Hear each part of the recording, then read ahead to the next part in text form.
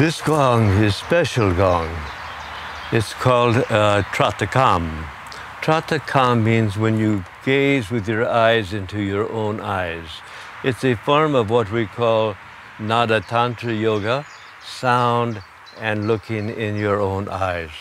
It's very special meditation.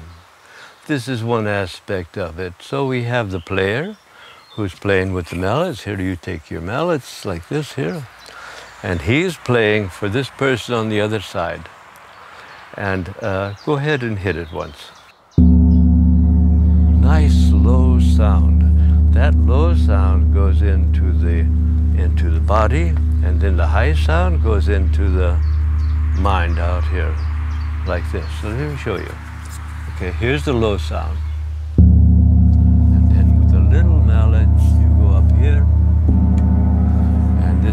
Lets the low and the high sound blend together. Very special technique we use in gong playing. And the person on the other side just looks into his eyes, just meditates.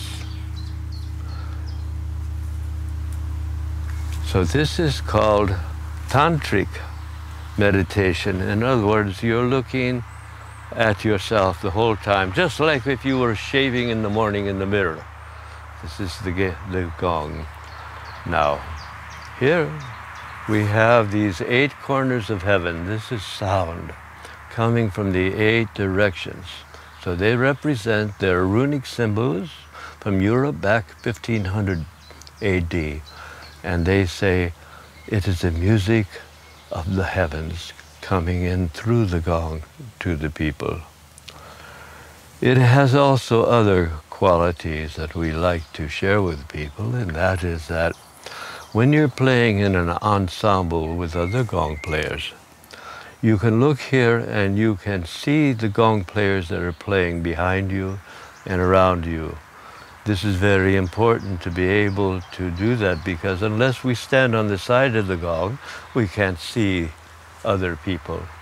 So it, it's, a, it's a wonderful practical thing for the gong players around the world.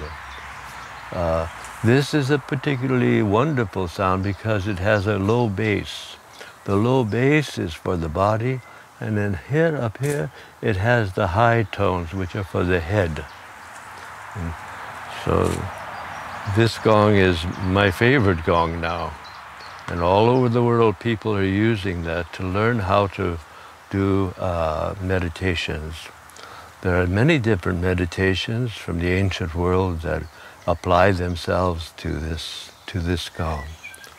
This is called the Eight Corners of Heaven Mirror Gong.